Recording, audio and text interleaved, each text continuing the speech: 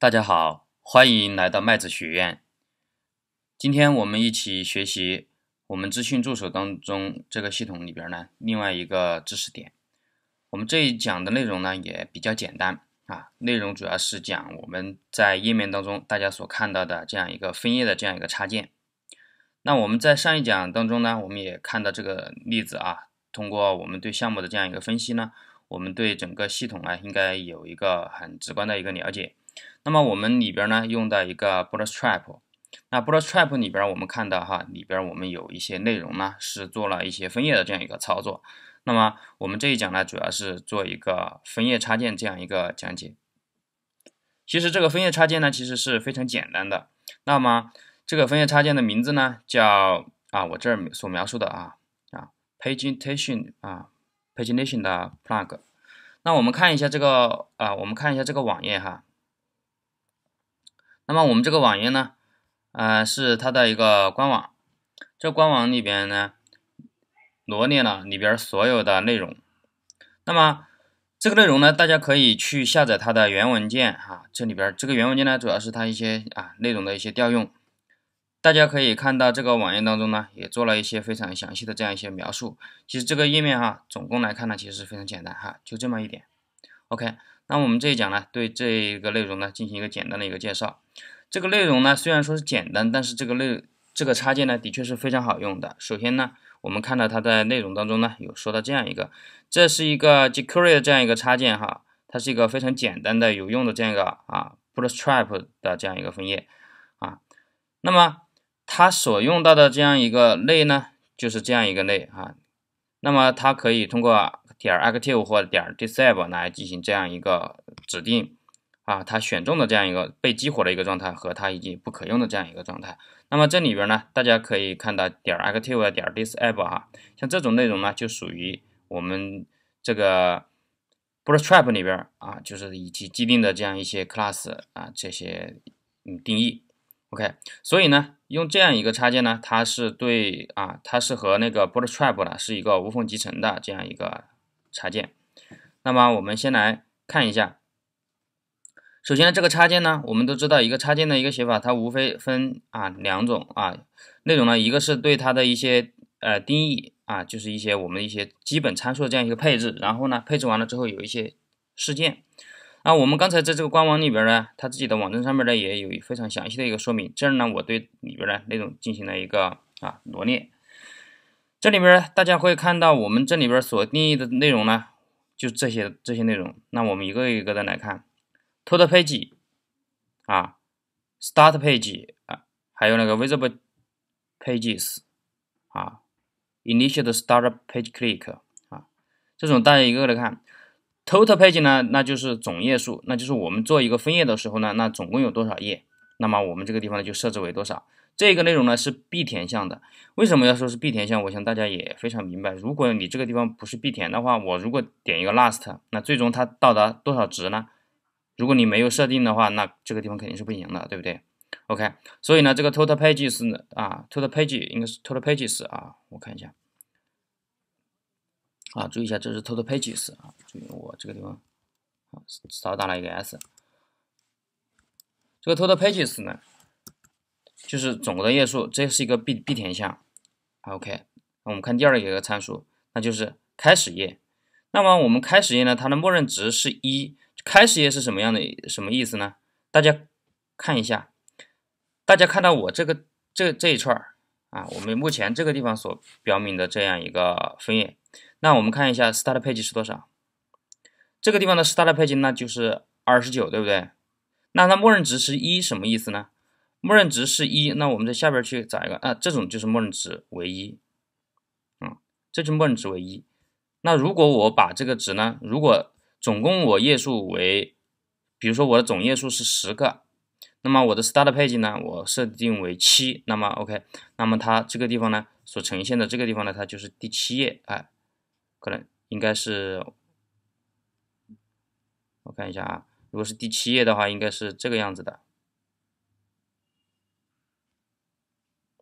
再走两个，再走一个，再走一，十二啊，就是这样子啊，就是这样样子的。它就第七啊，然后呢，这个地方是开始是第七。那大家看一下这里边呢，我们看到一二三四五，那就是我呃，如果这个 start page 呢，我可能是多少？那是一对不对？那么我们就要有一个 visit visible pages，那就是我可可以看到的有多少个页呢？比如说这个地方配置十一二三四五啊，大家我走到这儿来看，OK，是不是一到十就显示十个？那么我这个地方呢是五个，对不对？那五个这儿这儿设置的呢就是五个，那就大家来看一下它的默认值呢其实就是五个，就你不设置的话它就是五个。那这个地方呢？初始化以后的一个开始页的这样一个点击事件，那它如果你它默认值是 true，那就是说我首次来了之后，我就会激发这样一个事件。那相当于我，相当于我如果是每一个这样一个啊，大家看到哈，这样一个按钮，每一个按钮其实它是一个点击事件，对不对？那我每一个点击事件，那如果我才开始进来的时候，如果我设置为 false 的话，相当于我第一个其实是不选中的哈。就没有被激活，所以呢，它默认激活的话，相当于我进来之后，相当于它的这样一个哪一个值是选中的呢？就是我们的 start page，start page，注意一下，它 start page click 啊，就这个值是处于选中状态。如果你这儿设置为 false 的话，那你这个 start page 并没有处于激活，那么 start page 里边所定义的一些啊，比如说我们后续要讲的一些链接呀，啊这些点击事件呢，都是没有被执行的啊。这个地方呢，这一个内这一块内容呢也是非常重要的哈，这一块内容非常重要，重要到什么去？比如我每一个链接，我每一个链接呢，就是我每一个项，就是我这个每一个页，这里边每一个页，这个页里边呢，我都可以设置它的一个链接，就通过这个 href 来进行这样一个设置。大家要注意一下，当我如果是在每一个页里边，我设置的呃，比如说我每。第一页的话，我希望它的那个参数的，比如说我定义一个什么样的内容呢？我在这个地方给大家啊写一下。比如说我这个地方我定义一个什么样的内容呢？比如说我要定义一个，嗯，比如说 at，比如说假设问号啊，问号，比如说 page，我比如说第一页的时候我等于一对不对？我第二页的时候呢我就啊等于二，第三页的时候呢我就等于三。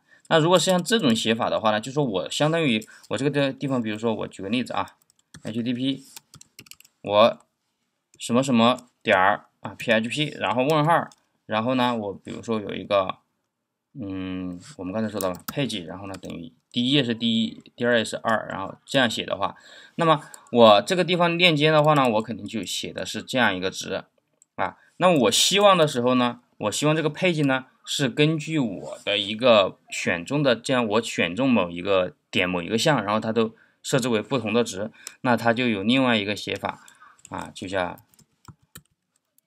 那这种写法，也就是我们现在会说的这样一个变量的问题。那这个变量呢，它是当前我们所选中的这样一个页，它的默认值呢就是用这个啊双括号，然后里边有一个 number，那么。默认值呢就是它，那这个值呢是等于当前的这样一个页号啊，大家注意一下，我们在后续的项目当中呢也会用到它，到时候呢如果大家这个地方有不清楚的地方呢，后续我给大家呢再来说明一下这个地方哈。另外后边那几个就非常简单了啊，那么就是第一上一就第一页和上一页、下一页和最后一页。啊，每一个页里边呢，它这个 level 设置什么样的值？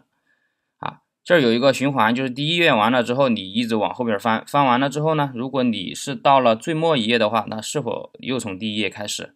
那默认呢，它是不从最后一页开始。那基本上呢，我们也不会很少用到它啊，啊，大家都要知道这有这个就行了。然后呢，这个地方呢，就是一个样式的自定义。样式的自定义呢，我们可以通过它的默认值呢是。叫这样一个啊，叫 pagination 哈，这样一个值。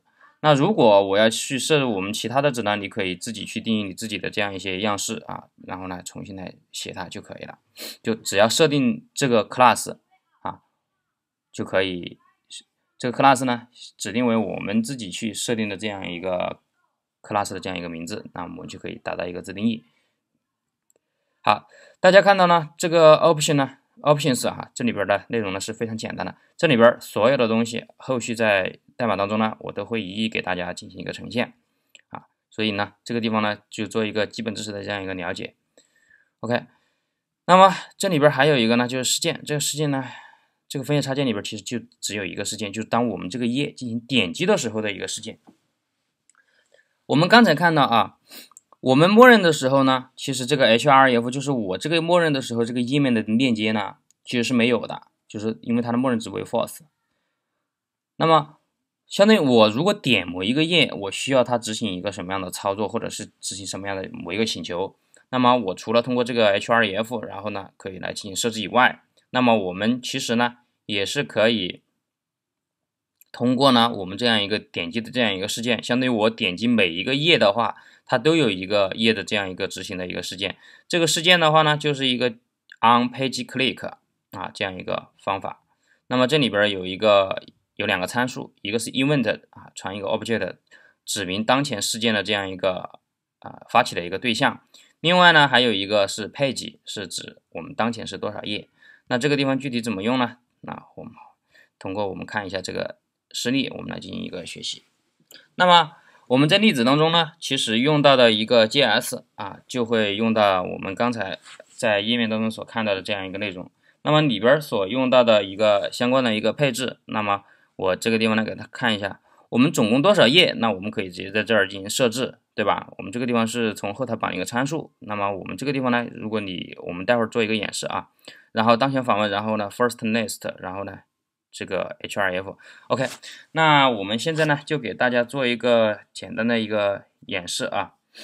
这个地方呢，我先我先启动一个啊，我们把虚在我们虚拟机里边来做吧，OK。啊，这个地方其实这个地方不需要啊，我们来就因为它是一个静态页面嘛，对不对？那我们就在静态页面里边来做就行了。我们打开我们的 WebStorm。打开我们的 Web WebStorm，我们直接来建一个页面就行了。建一个页面呢，这个页面的话，大家可以以任何形式来进行呈现。我们这个地方呢，就随便去建一个建一个页嘛。我们 Create New Object，这个地方呢，我们做一个啊，我们这个地方叫。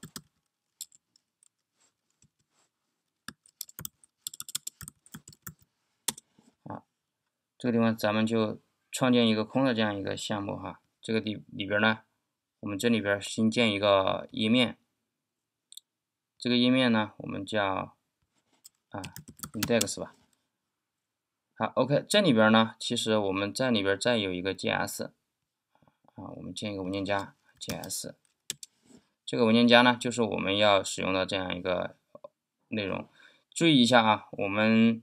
因为我们的项目当中呢，会用到两个重要的 JS。我们这个 JS 的话呢，在这里边，大家来找一找。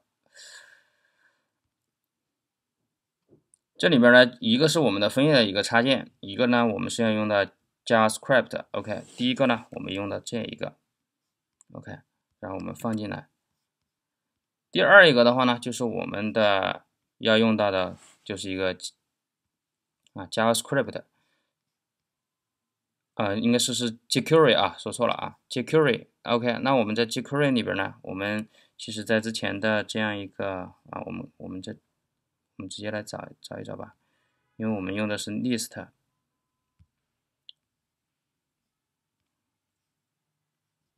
嗯，list 对吧？OK，咱们来看一下 index，应该是。